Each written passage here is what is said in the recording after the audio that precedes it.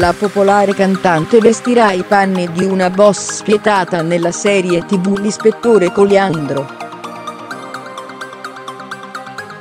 Mercoledì sera su Rai 2 torna la nuova stagione dell'ispettore Coliandro, la serie con Giampaolo Morelli. Quest'anno il cast si è arricchito con degli attori di grande calibro come Claudia Gerini e addirittura Iva Zanicchi. L'Aquila di Ligontio sarà protagonista della terza puntata e, stando alle sue anticipazioni, interpreterà un personaggio molto cattivo.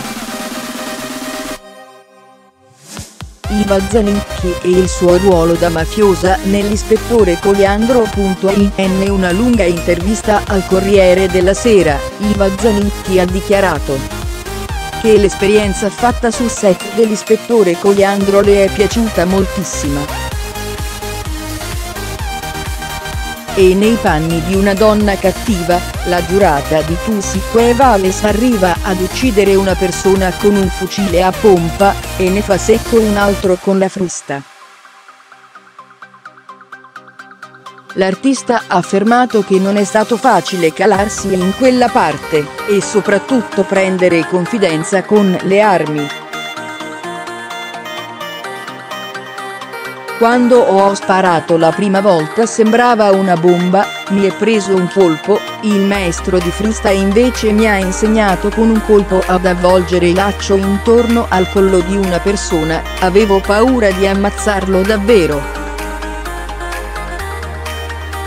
Ha dichiarato la Zanicchi che durante una scena della fiction, è stata presa a botte pure da Giampaolo Morelli.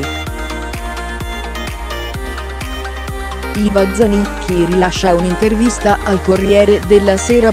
Nel corso dell'intervista rilasciata al Corriere della Sera, Iva Zanicchi ha confessato che, a differenza di quello fatto nella fiction di Rai 2, lei è una donna molto calma.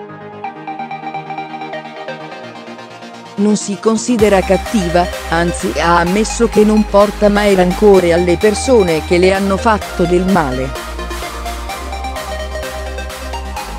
chiede subito perdono e piange spesso.